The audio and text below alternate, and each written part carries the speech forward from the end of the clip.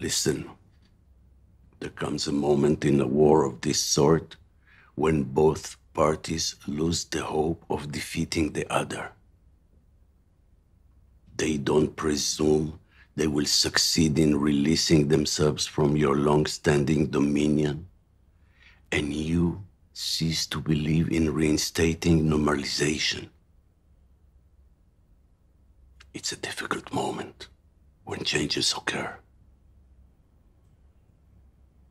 Both you and the insurgents that confront you will resort to means the sole purpose of is to cause pain, to shed blood.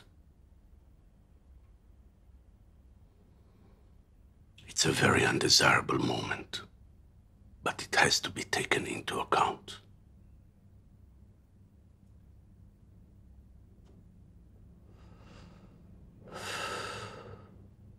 מבחינתנו, בתור חיילים, וידוא הריגה מתחיל בטירונות.